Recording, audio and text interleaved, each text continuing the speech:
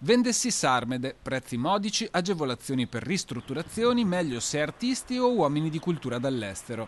Potrebbe essere questa l'inserzione che il Comune ai piedi del Consiglio in futuro potrebbe diffondere in tutta Europa con l'obiettivo di fermare l'abbandono e il conseguente degrado di borghi come Rugolo o Montaner. Noi stiamo vivendo un periodo non proprio felice, nel senso che la natalità sta calando, la popolazione sta sempre più invecchiando e quindi dobbiamo comunque dare l'opportunità che i servizi rimangano nel territorio, altrimenti veramente lo spopolamento che è già in corso in questi anni si accentuerà sempre di più.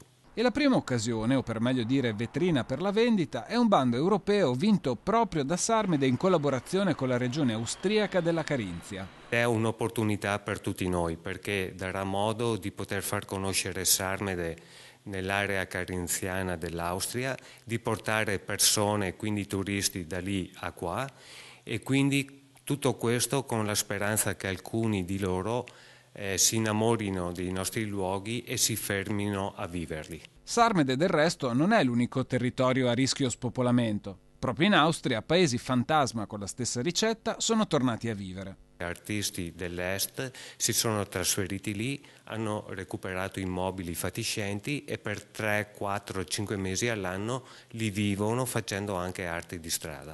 Inevitabile il riferimento a Stefan Zavrel, che dopo anni di fuga dalla cortina di ferro si stabilì a Rugolo portando la sua arte dell'illustrazione per l'infanzia e trasformando Sarmede in capitale mondiale delle immagini della fantasia.